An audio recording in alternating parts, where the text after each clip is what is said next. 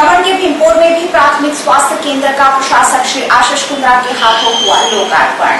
स्थानिकों को मिल सकेगी स्वास्थ्य सुविधाएँ। दमन प्रशासन द्वारा प्रदेश के नागरिकों को उनके नजदीकी क्षेत्रों में स्वास्थ्य सुविधाओं का लाभ दिए जाने के आशय से भीमपोर में भी प्राथमिक स्वास्थ्य केंद्र बनाया गया है। जिसका लोकार्पण प्रदेश के प्रशासक आशीष कुंद्रा ने प्रशासनिक अधिकारियों, जनप्रतिनिधियों एवं स्थानिकों की उपस्थिति में किया। इन स्वास्थ्य केंद्रों के शुभारंभ से ग्रामीण क्षेत्रों की जनता को उनके क्षेत्र में निशुल्क स्वास्थ्य सेवाओं का लाभ मिल सकेगा।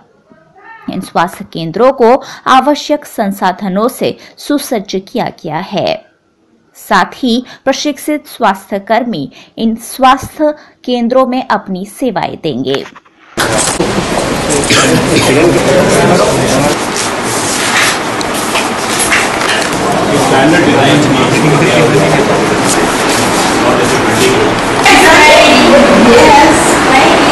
ये आज जो दो प्राथमिक स्वास्थ्य सेवाओं के लिए हमने दावेद और में ये प्राइमरी हेल्थ सेंटर की शुरुआत करी।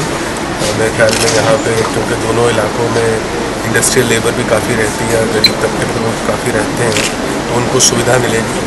और वहाँ पे न केवल बिल्डिंग का उद्घाटन किया गया लेकिन पूरा उसको जो इक्विपमेंट चाहिए और जो स्टाफ चाहिए पूरा का पूरा यहाँ पर मुकम्मल तौर पर उपलब्ध है।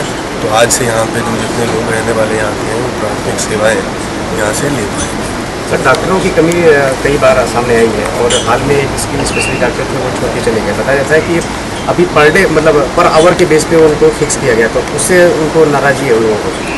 देखिए, जहाँ तक के डॉक्टरों का सवाल है यहाँ पे और दीव में, दोनों जगह पे और इवन सिलवास के अंदर कुछ ऐसे स्पेशलिटीज़ हैं जहाँ पर हमको कमी महसूस होती है, क्योंकि लाजमी है कि बड़े अस्पताल में उनको अट्रैक्शन रहती है डॉक्टरों को कि वो बड़ा हॉस्पिटल होगा, वहाँ पे काम करेंगे।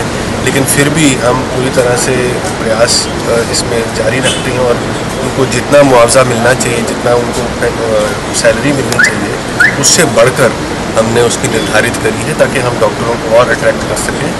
क्योंकि ये स्वास्थ्य एक ऐसा एरिया है जहाँ पे हम बिल्कुल कॉम्प्रोमाइज़ कर नहीं सकते लोगों की ज़िंदगी भी हैं।